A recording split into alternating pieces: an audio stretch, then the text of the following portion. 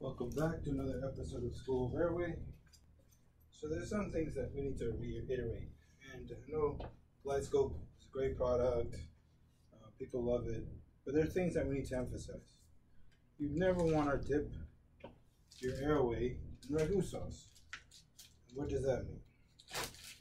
So I've always noticed when people try to use a normal air, like intubate digitally with uh, no, with a video like open the mouth traditionally and go in.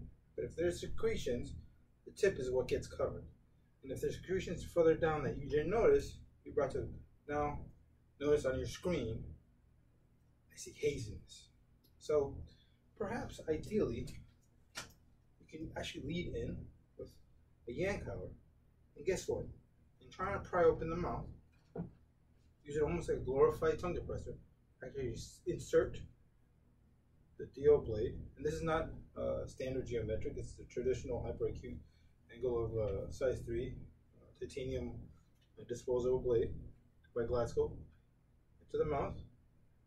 And as you're looking up, you actually, wow, on the monitor, with as I enter the tip, the tip of this GlideScope monitor will actually show me where I need to actually guide my suction.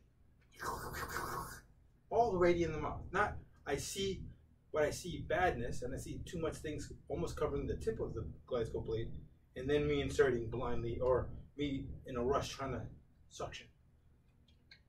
This is going to be used to open the mouth, this Yankauer, and enter the GlideScope. Will this work with another type of suction device, like the Ducanto catheter? Yes, it will even be better. Look at the holes. One big hole compared to this small little holes here.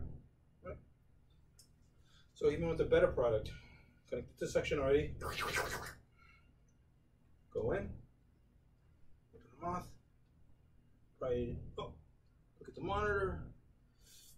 I enter, it's going to guide me whether to where to direct the tip of this suction catheter. Clear it up, then I have to decide what I want to do. All right, either go a little deeper. I'm drawing an emesis go back, get to the left side, and intubate with the uh, an ET preloaded with a preferred GlideScope uh, stylet. Make sense? Again, does not only work the uh, Ducanto catheter, it is more efficient in suctioning voluminous amounts of material. I know, I know a lot of us have this limited version.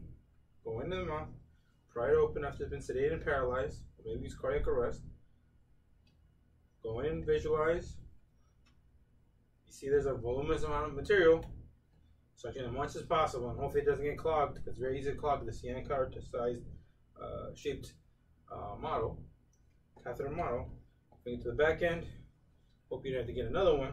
Hopefully you can now visualize with your GlideScope and intubate. Make sense?